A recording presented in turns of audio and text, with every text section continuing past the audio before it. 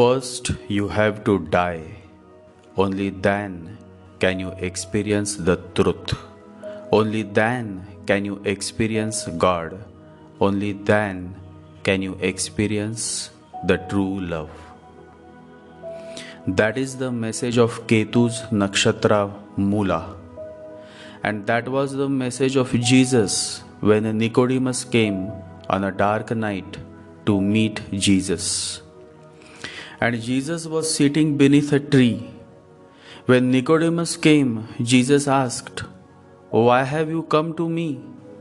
What is it that you want from me? Nicodemus is one of the greatest scholar of Jerusalem. Not only he is the most wealthiest person, but also highly knowledgeable. And yet he had come all the way to meet Jesus on a dark night. It is necessary to remember that everybody is carrying a dark night within them and nobody is even aware of it. It happened with Nicodemus also he chose a dark night to meet Jesus. And yet he wasn't aware of the dark night, that is, ignorance, that was within him. Nicodemus is a very old man, must be in his late 80s.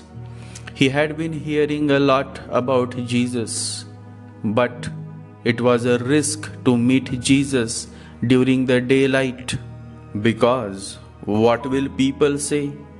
That a great scholar is going to meet a carpenter's son? That was not possible. Going in the daylight, it was impossible to meet Jesus, and so Nicodemus had to come to meet Jesus during the night, a dark night, a no moon night. And Jesus asked, what is it that you want from me? Nicodemus said, I want to experience God. Jesus says, Even to meet me, you have chosen a dark night. How will you be able to face God? Nicodemus says, Then how can I experience God? And to this, Jesus looks into his eyes and says, you have to reborn. Nicodemus says, What do you mean? I should go back to my mother's womb? Jesus says, To reborn, you have to first die. This death is not of your physical body, it is the death of all your ego, your notions, your ideas. Unless this death happens, you cannot reborn. Nicodemus gets down on his knees. He starts crying. Whole life was spent in gathering knowledge. Whole life was spent running behind respectability. And now this man, Jesus, had brought a certain light of awareness to his whole being. He started shaking. He touched Jesus' feet and Jesus blessed him. With every drop of tear, the old Nicodemus was getting dissolved, and a new Nicodemus was taking birth. Ketu's Mula Nakshatra is the state of this dissolving, dissolution. Unless you dissolve, you cannot evolve. Dissolving is the nature of Mula and you will dissolve only when your roots, which is mula, are shaken. Mula means roots. From the root, the disease of illusion, Maya, should be dissolved. That is the whole message of Ketu, my fellows, and that is the whole essence of Ketu's nakshatra, Mula. Mula remains one of my favorite nakshatra. In fact, all nakshatras of Ketu, Mula, Magha, and Ashwini are my favorites. Always remember The enlightened man, while alive in the body, is already dissolved. He knows he is no more, he knows he is a nothingness. The dissolution has already happened. Pada is a secondary, primary is the nakshatra in itself. The building is important, the apartments within the building make less impact than the building that is the nakshatra. And so the focus should be on the mula nakshatra and not much on the padas. Whenever any planet falls in mula nakshatra, the message is simple dissolve. Seventh house planet in Mula Nakshatra, marriage is dissolved. Fourth house planet in Mula, happiness from mother dissolved. Fifth house planet in Mula, happiness from children dissolved. Sixth house planet in Mula, disputes dissolved. It becomes a blessing in disguise to have a sixth house planet in Mula Nakshatra. Eighth house planet in Mula, happiness from in laws dissolved. Ninth house planet in Mula, happiness from father dissolved. Tenth house planet in Mula, career prospects dissolved. Eleventh house planet in Mula, desires dissolved. This can become a blessing in disguise if the path chosen is spiritual. Twelfth house planet in Mula, loss dissolved. So again, it becomes a blessing in disguise because the loss is now dissolved. The larger question is how this dissolution helps. It helps when you raise your consciousness, when you expand your awareness. Yesterday, Mohan came, and Mohan is a man who lost his mother when he was four years old. His fourth house Lord Mars is in Mula Nakshatra. Happiness from mother dissolved. But God wanted something more from him. And so one afternoon, God took away his father, and Mohan was just 14 years old. Mohan's ninth house Lord Mars is also in Mula. Happiness from father dissolved. But Mohan had been such a beautiful person, always going with the flow. It is a different story that he had many successes in his life. But whenever anybody would ask him, What is it that made you so successful? he would answer back, The early death of my mother and my father. Mula dissolved his father and his mother too. And through this dissolution, a new Mohan was reborn. A great transformation happened within his whole being. He was no more the same Mohan. Transformation is closely related to Mula Nakshatra. First happens the dissolution, only then happens the transformation.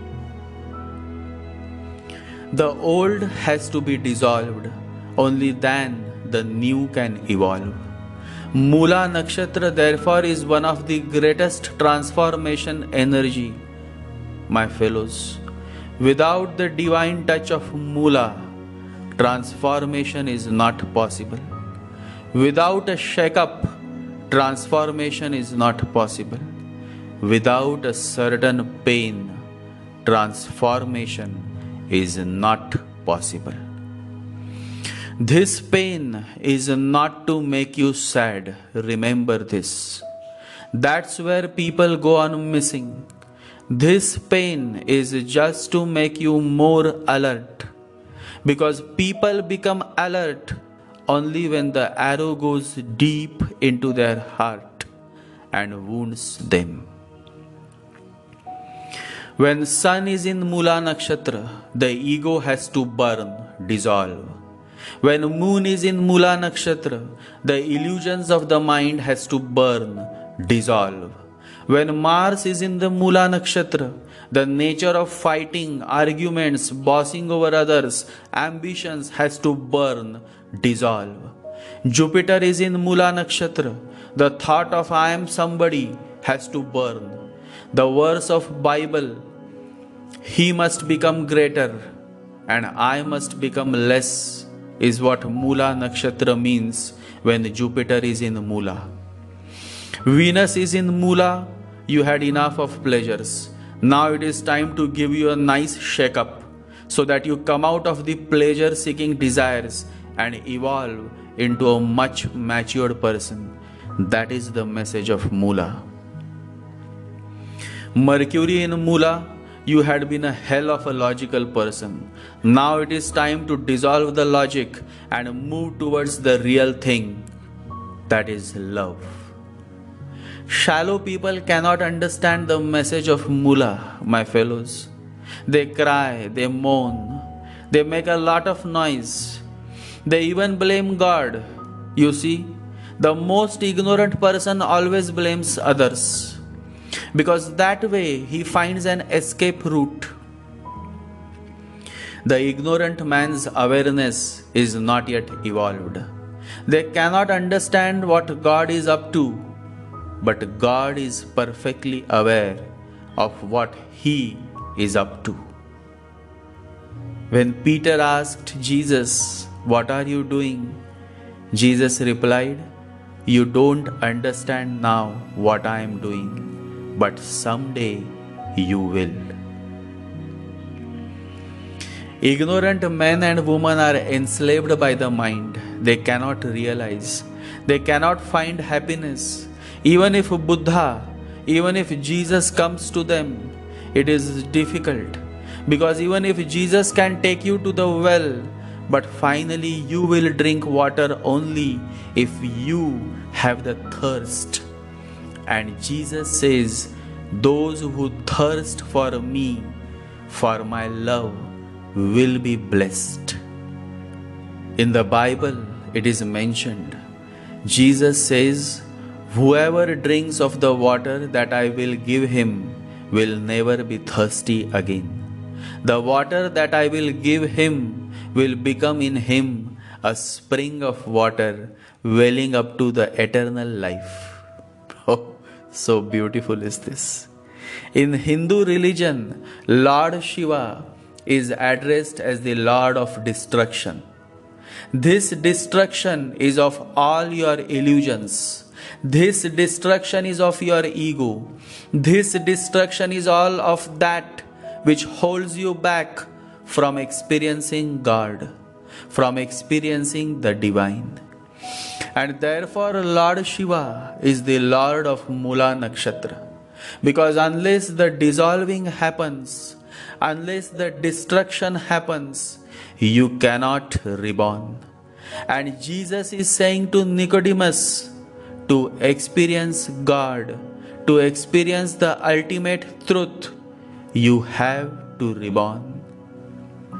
I earnestly bow before the Lord of Lords, Lord Mahadev, Lord Shiva. Ketu is a Swadharma, and therefore you all will see Ketu's nakshatras in Dharma signs. Ashwini which is in Aries, is a sign of Dharma. Magha nakshatra falls in Leo, which is a sign of Dharma. Mula nakshatra falls in Sagittarius, which is a sign of Dharma. Aries, Leo, Sagittarius. These are Dharma signs, signs of self nature, signs of Swadharma. What is Swadharma? To reach your own self nature is the only religion. To become that which you are is the only religion. That is why Krishna has emphasized Swadharma, self religion. Self religion or Swadharma has nothing to do with religions. The real meaning of Swadharma is that you settle into your own nature. Following your self nature is a self religion. In the Gita, Lord Krishna asks Arjuna to follow Swadharma, which is self religion. Swa is a Sanskrit word meaning self, and Dharma means religion. Swadharma has nothing to do with the religion you follow, it simply has to do with your self nature.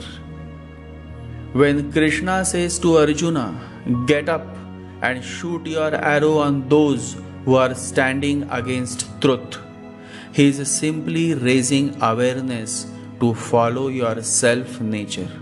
And if your nature is now standing against those who are utterly shameless, utterly sinful, then you don't have to bother if they are your brothers or grandparents. You simply have to shoot. Shoot, says Krishna, and Arjuna shoots, follows Swadharma. There is no head, no mind, only the instinct and the determination to follow Swadharma. Ketu is that Swadharma because to follow your nature, you have to keep aside your mind, your head.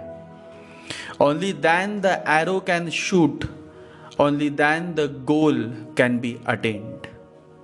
This arrow, this quality of following the Swadharma, that is self nature, is the quality of Mula Nakshatra. Amongst all the three nakshatras of Ketu, Mula is the most favorite of Ketu because it is here that the destruction happens.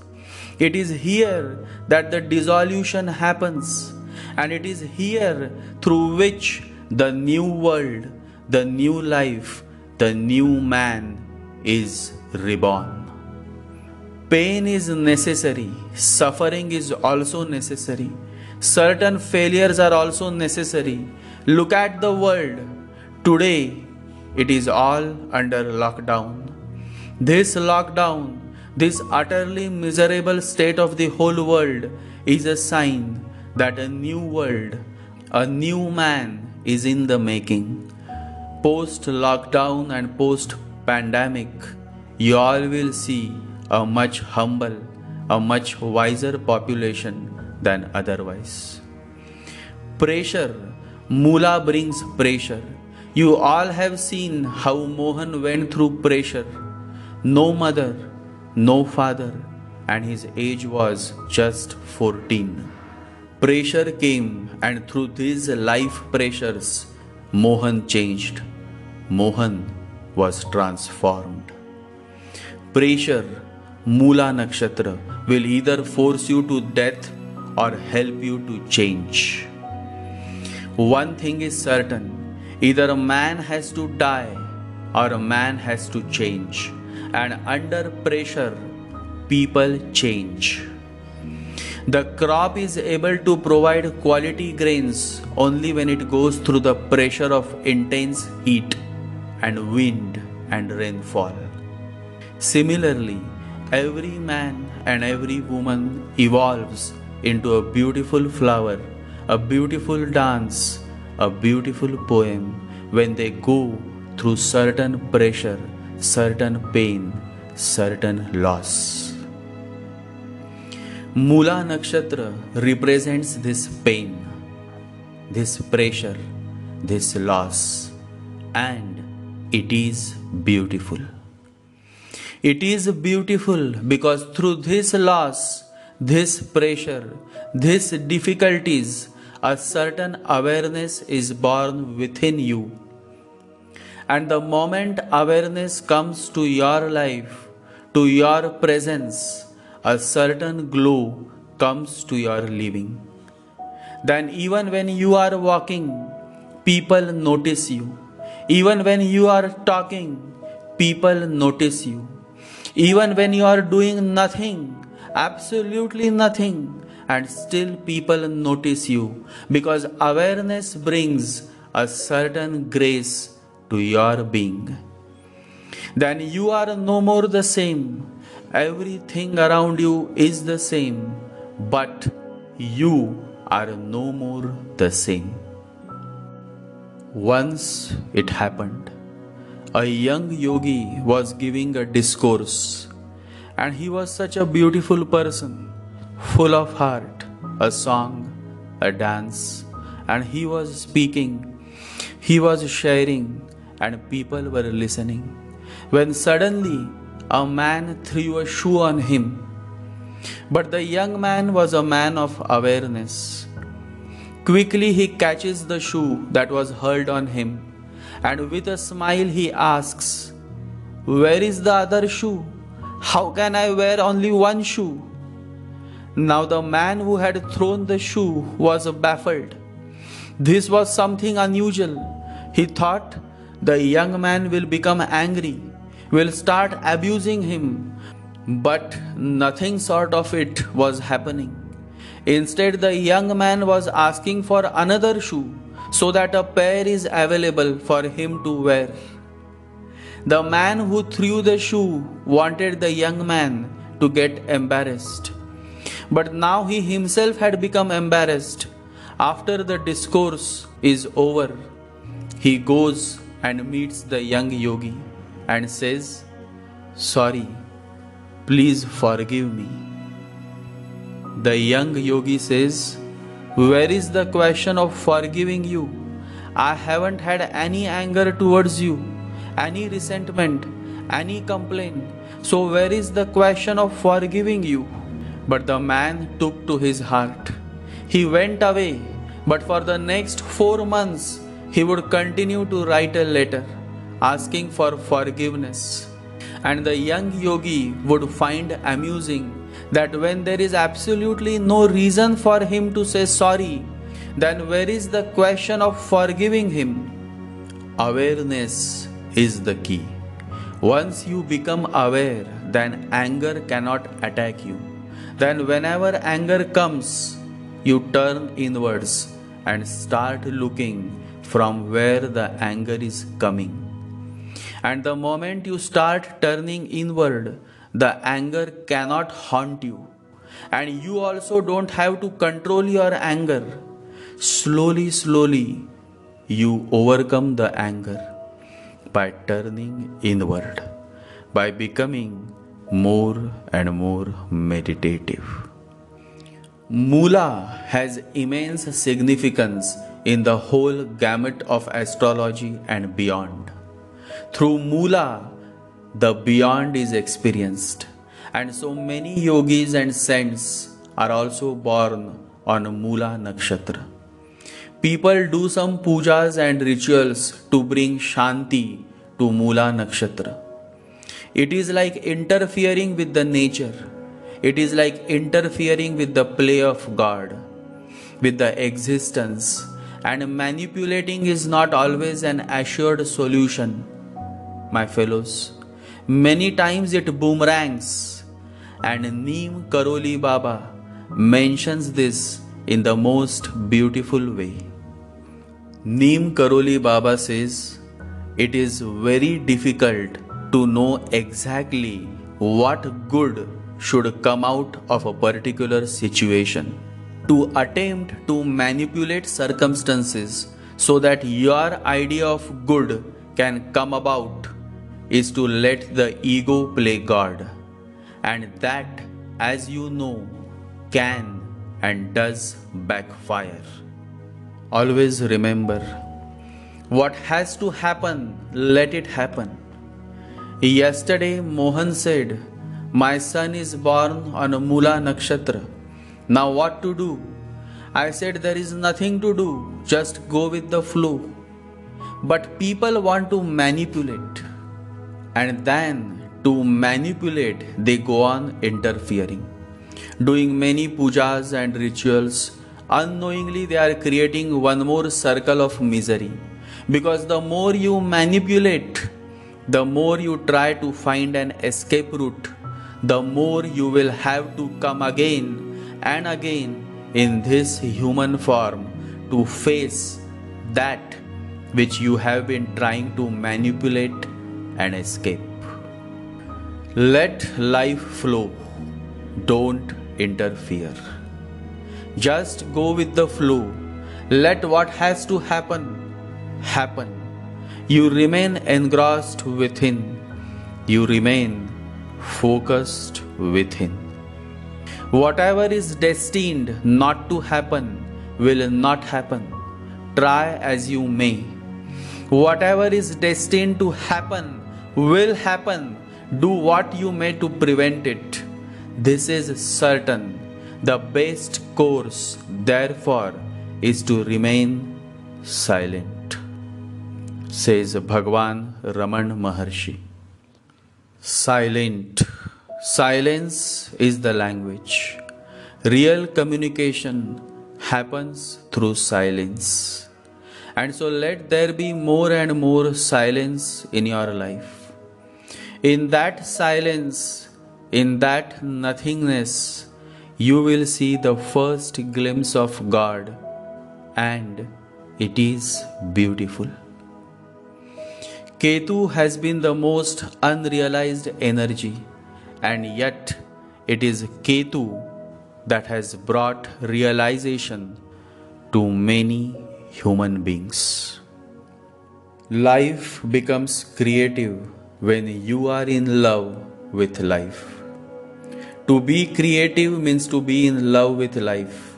You can be creative only if you love life enough that you want to enhance its beauty. You want to bring a little more music to it, a little more poetry to it, a little more dance to it.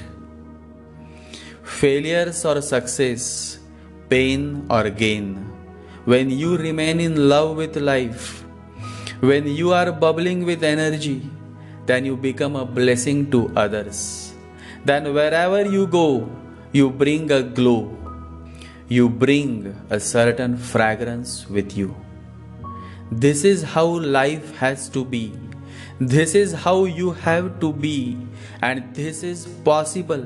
This can happen only when the dirt within you is cleaned. And this cleaning process, this cleansing process is done by Mula Nakshatra.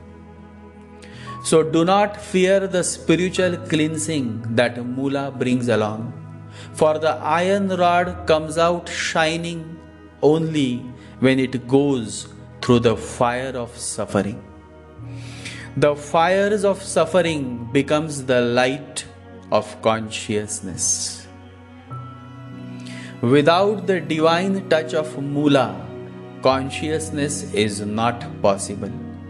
God is not possible. Love is not possible. Mula moves you to the highest peak of consciousness. It has the potential to transform you into a new man. The more you go through the pressures and sufferings, the more you start turning inwards. The more you are blessed, the more you would continue to meditate. And meditation is the only miracle that can and that does transform you into a new man. So come, come you all and meditate. 20 minutes every day. You have to find time because time never finds you. When a person says, I am just passing time, it is in reality the other way round. Time is passing you. Time is moving on and it is moving very fast. Minute after minute, death is coming closer and nobody knows when the last call is to come. It never comes with a fixed appointment, it just strikes anytime, anywhere. And so, before death strikes, start turning inwards, start looking within. That is the whole essence, and that is the whole purpose of Mula Nakshatra to help you come back home. Nobody can push you, nobody can make you walk. I can show you the way. Buddha can show you the way. The Master can show you the way. But finally, it is you who have to walk. Buddha says, I can show you the way, but you will have to walk. I cannot walk for you. Walk your way home. Come back home, center of your heart. Come back to your root, Mula. When you come home, you come home, and the whole world, that is the mind, disappears, and then you find your peace. The key is to come back home. Be in the world, but don't let the world to be in you. Stay detached. Mula is detaching you. If you can listen to Mula, you will find the greatest gift. And if you cannot, then you will find the deepest misery. The whole essence is in understanding Mula, understanding Ketu, understanding Shiva. Om Namah Shivaya. Sri Ram Jai Ram Jai Jai Ram. Meditate. Jai Sri Ganesha. Jai Guru.